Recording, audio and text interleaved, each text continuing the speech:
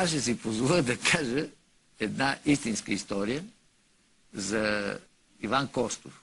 Той все пак знаете, че ми е нещо като колега в Технически университет, Веми и Ленин преди, в Центъра по идеологически дисциплини, предаваше политикономия и честен кръст, както се казва, знам го от човек, който всъщност едно към едно го казва.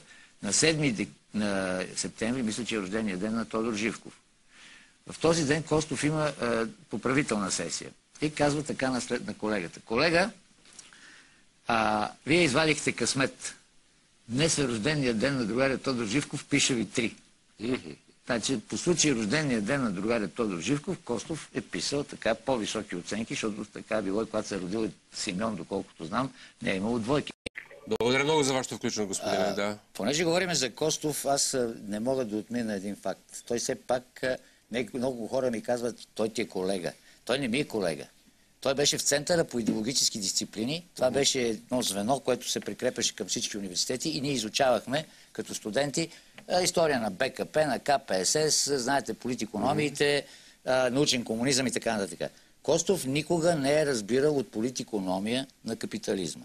Мога ли да прочета нещо от собствената му дисертация? Да, да. Тъй като онзи ден чух една наглост, поредната наглост от него. Аз съм казал уникално съчетание да. от знания, математически, економически и опит политически и управленски. Бога ми. Вижте какво пише той в това, което, заради което е станал кандидат на економическите науки, а сега по новата така класификация доктор. Оригиналният източник на общите идеи и концепции в теориите на растежа, неговата дисертация е по растежа, не е буржуазната економическа теория, както все още някъде се счита, разбирай Европа, Запада, а съветската економическа мисъл и практиката на социалистическото строителство. Така че никак не е необходимо анализът, анализът им да се провежда по интерпретациите на буржуазната економическа мисъл. И внимавайте сега, генезисът на теорията за економическия растеж може определено да бъде отнесен към 20-те години на века. Идеен автор е Владимир Илич Ленин.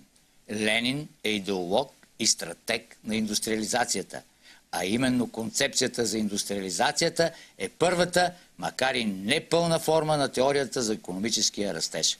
Към големите постижения на организаторската дейност на Ленин следва да бъдат посочени на първо място създаването на плана Гоерло, знаете го кой е, който той нарича втора програма на партията.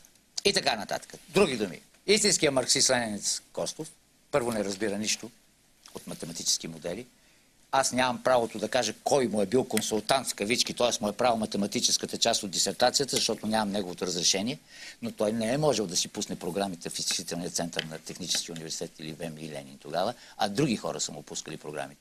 Той е нагъл, брутален лъжец. И именно за това, че се събрах в СДС-то с някакви литературчета и тем подобни кръскачи, които мислеха, че Костов е някакъв специалист. Разбирате ли? Това беше абсурда, който тогава наложих. Костов специалист. Ми, чухте ли Ренета Инджова какво каза, която е много по-достойна от него, защото бех в един кабинет. Ми,